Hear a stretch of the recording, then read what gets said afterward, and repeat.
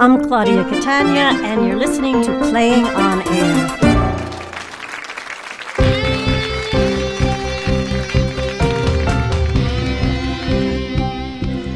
You're about to hear To Be or Not to Be by Jacquelyn Reingold. It's directed by Michael Barakiva and features William Jackson Harper and Jenn Harris. We see Franny, disheveled, in her studio apartment, on the phone, and waxing her legs. And I know you told me it was over, and I respect that. I mean, I understand it. And I know you don't want to see me again, and I know I was not very nice to you at times. And I just want to say that I've had, well, a complete not nice ostomy and a total unlike ectomy. I've had all the not nice, unlikable parts removed. So if you call me, I'm sure we can work it out. I'm waxing my legs. Ah! I know you hated my hairy legs, so I'm waxing. I can't believe you haven't called me back. I heard you asked out my friend Eleanor, and I thought you'd like to know she has the papilloma virus in her vagina and in her mouth, on her tongue, in case you happen to have kissed her already. Wouldn't worry about it, though. I'm sure it's fine. Okay, well, thanks for breaking my heart.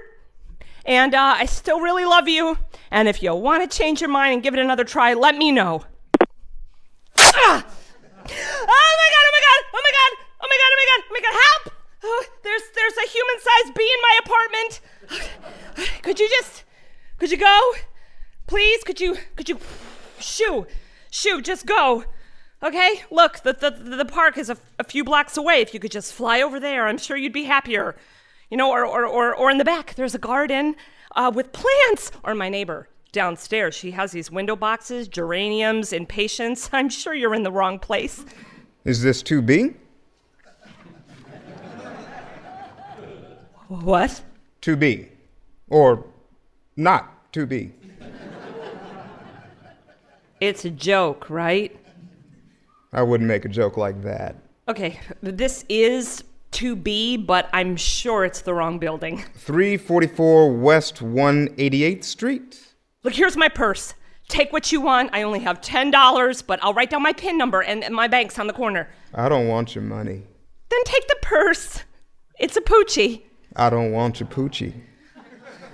Look, I'm possibly allergic, and my EpiPen will not be of much use in this case because you're, oh my God, you're so freaking big. You're like the biggest bee I have ever seen. I can't believe this is happening. Frank, help! There's a giant bee in my apartment. Could you come over, please? He's a jerk. Forget about him. What? You deserve better. Well, thank you. I, I will consider that. Now, now, please go away, or I'll call the police. I, I don't think they'll come for a bee. Look, I'm really afraid of you. I mean, I'm really afraid. Bees are, well, you know, they're my thing. You know, some people it's snakes or heights or whatever, but for me, it's just bees. I won't hurt you. Well, that's nice to hear. Why would I hurt you? I don't know. Because you're a bee? Have you been hurt before? Yes. Yellow jackets. No, bees. Bees. I've been stung. So I'm, I'm, I'm sure you are in the wrong apartment. It's the right apartment. Then it's the wrong species. I'm a human, a female human, and you are not invited. How's that going for you? What? Being a female human? It's fine. It's it's just fine. Work and love? It's all good. How's your job? It's fine. I'm a receptionist. It's a career change. I used to be a painter, very cutting edge. I didn't even use paint. I used bodily fluids. but several others already claim that niche. You wouldn't believe what some people can do with their menstrual blood. So now I just uh I have a job and a boss and And your human female love life? well, my first relationships were with typical self involved commitment phobes when I was between the ages of, say, 5 and 12. Then junior high was alcoholics, high school was drug addicts, college gay men, a guy who owned a duck. And then a physically challenged interpretive ice skater, meaning, you know, an amputee who'd skate with a kind of, you know, stick with a blade at the bottom. And then I married a guy who liked to put garlic in his ears. But I went away a lot with my boyfriend who was a puppeteer for the blind. Then my husband fell for a woman with no limbs. And I got pregnant, but I lost the baby. And the father, well, he was a Midwesterner, so then I had a slew of internet dates with incredibly boring men, which is, I guess, a sign of getting older. The men tell the stories that sound like intricate recipes on how to marinate poultry. Okay, you get out, or I'll spray you with this deadly bug spray. Empty. You like flowers, don't you, Franny? How did you know my name? These are for you. Tulips are your favorite. How did you? Okay. Thanks for the delivery. You can put those down over there and and now you can go. Do you know how intoxicatingly beautiful you are? Okay, now that's a joke. We find you unbearably sexy. Who's we? We know you haven't even begun to tap into your erotic capacity. What's that smell? That's my nectar. That's, that's not bad. Franny Dembrose, you are wonderfully demanding, fascinatingly moody, exquisitely impossible to please, well, complicated, codependent, and controlling. Perfect in all ways. well. We want to give you everything you have always wanted, but thought you couldn't have love, fulfillment, hot sex. We will serve your every need. Oh, well. We want you to be our queen. what? We've watched you. We've chosen you. We know you. What is this? You can run, but you can't hive.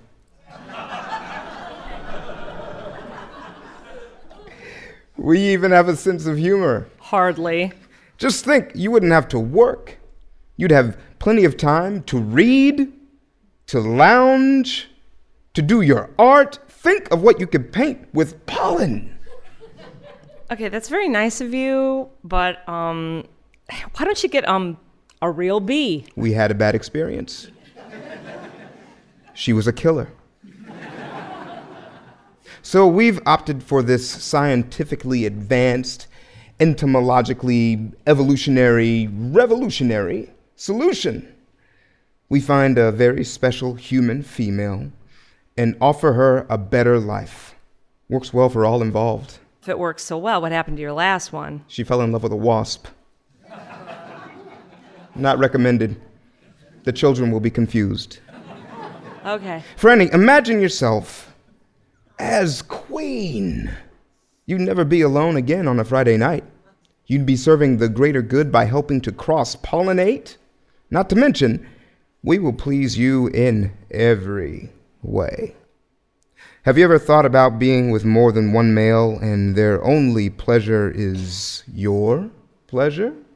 Well, um look, it's nothing personal, but I find you I'm sorry to say physically um repulsive Oh, I think that could change. and I'm human. That, too, can change. Amelia Earhart? She didn't disappear. She made a choice. So can you. But what's wrong with being human? Have you read the paper lately? Your species isn't exactly living up to its potential. Amelia Earhart. I don't want to rush you, Franny, but my brothers and cousins are eagerly awaiting, and time is quickly running out. Don't you want what I've offered? What is it you're reluctant to give up? Well, my apartment.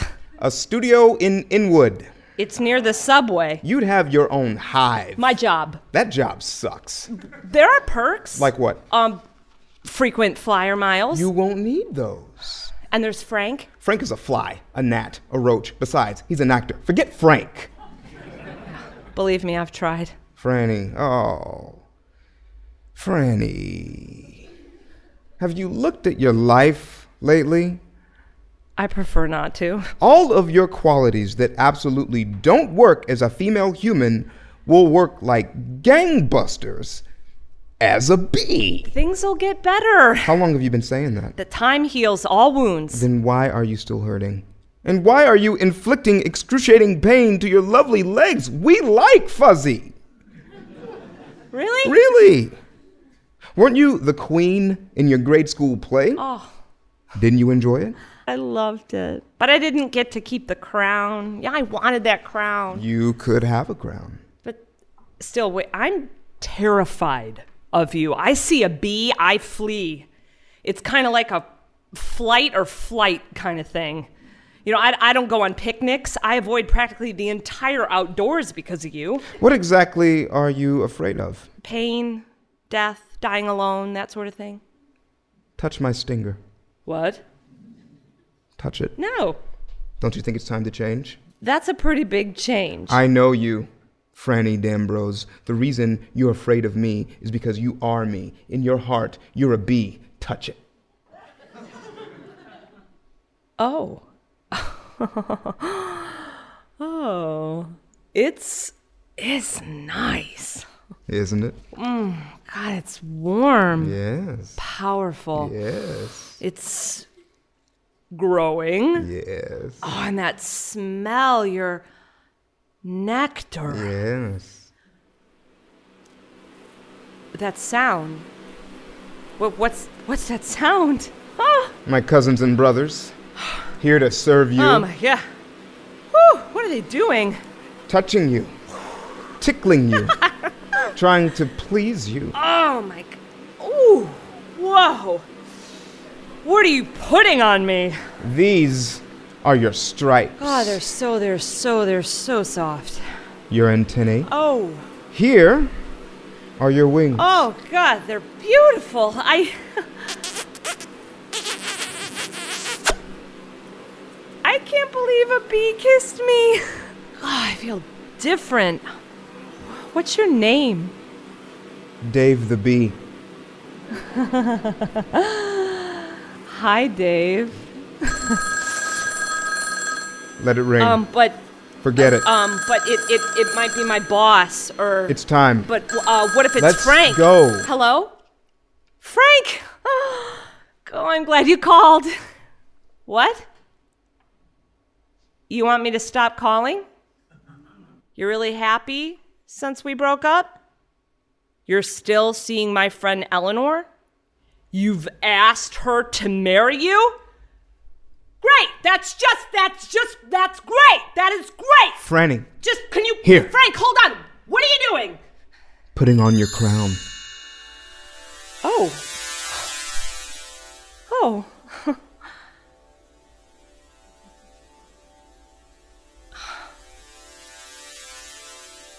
Uh, Frank.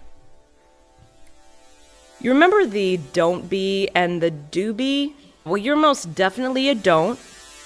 And when it comes to you and your kind, I am done. Buzz off. Dave, pucker up your proboscis.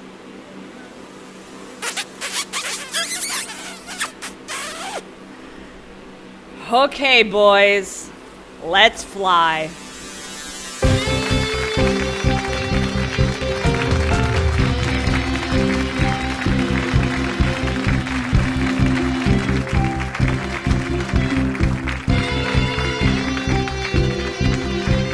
You just heard To Be or Not to Be by Jacquelyn Reingold, directed by Michael Barakiva. It featured William Jackson Harper as Dave the Bee and Jenn Harris as Franny. We're here with the playwright of To Be or Not to Be, Jacquelyn Reingold. Its director, Michael Barakiva, Jenn Harris, and William Jackson Harper. Hi, everybody. Jackie, is there something about the improbable that particularly intrigues you as a storyteller?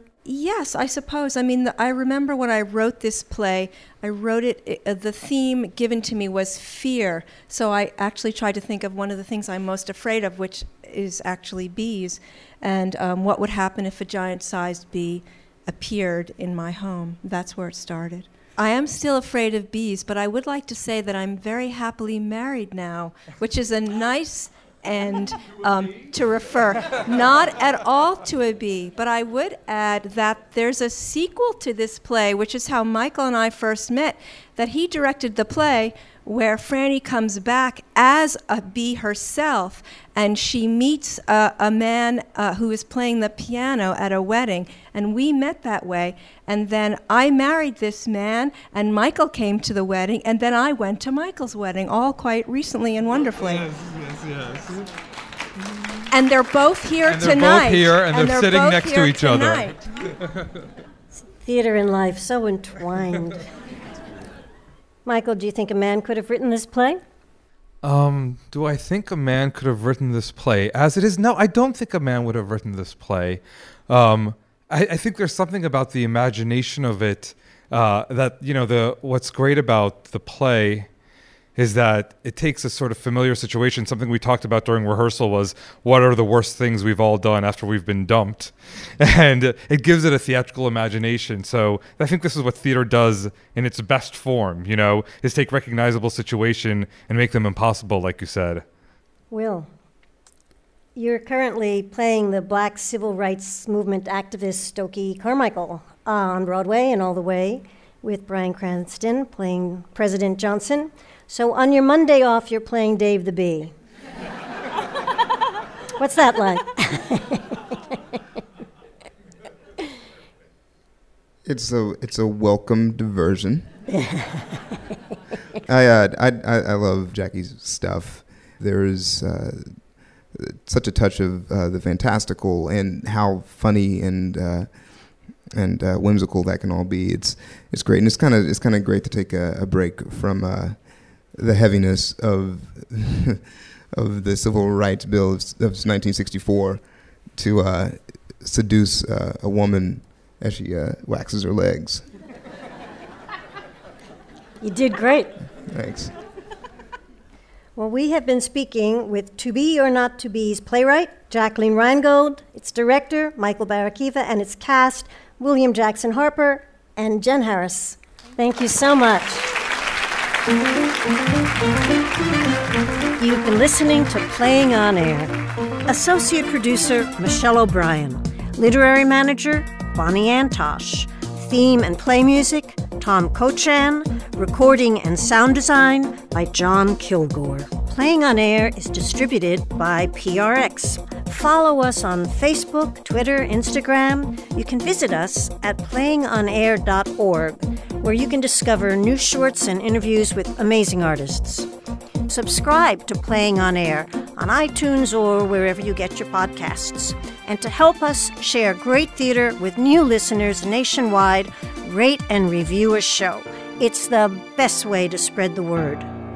Playing on Air, I'm your host, Claudia Catania. Thanks for listening.